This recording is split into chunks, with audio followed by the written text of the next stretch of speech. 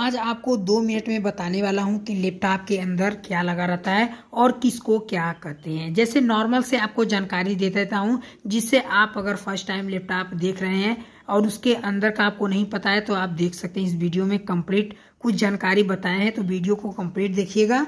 और वीडियो को बिल्कुल स्किप ना करें, क्योंकि छोटी छोटी पॉइंट इसमें हम बताएँगे, जिसको आपको ध्यान से समझना होगा। तो चलिए यहाँ पे एक एक स्टेप बाय स्टेप शुरू करते हैं। सबसे पहले यहाँ पे देख सकते हैं, यहाँ पे कुछ इस तरीके से दिखता है। तो ये होता है आपका हार्ड डिस्क, जिसमें स्टोरेज अपना डेटा को रखते हैं। और ये जो यहाँ पे बगल में दिखते हैं, इसको बोलते हैं यहाँ पे आपका रैम। रैम का मतलब रैंडम एक्सेस मेमोरी जो आपका रहता है, यहीं पे लगा रहता है। इसको आप यहाँ से क्या कर सकते हैं, निकाल भी सकते हैं और इसको लगा भी सकते हैं। और साथ में यहाँ पे ध्यान से देखेंगे तो ये है आपका वी लैन वी लैन का मतलब है जो आपका वाईफाई पकड़ता है, वो यहीं से पकड़ता है, यानी इसी स्लॉट में लगा रहता है।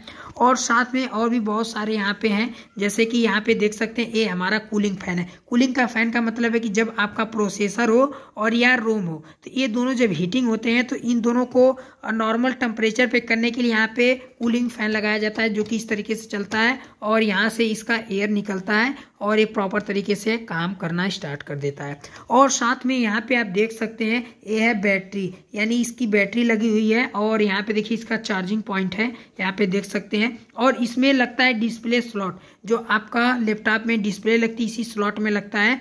और साथ में इस साइड देखेंगे तो ये है टेलीफोन कार्ड और ये है सीएमओस यानी सीमोस बैटरी जो होती है इसके अंदर रखता है। इससे क्या होता है कि आपका जो सिस्टम होता है प्रॉपर तरीके से आपका डेट टाइम मैनेज करता है। यहाँ पे देख सकते हैं सीमोस है। और साथ में और कुछ चीज़ें दिखाते हैं।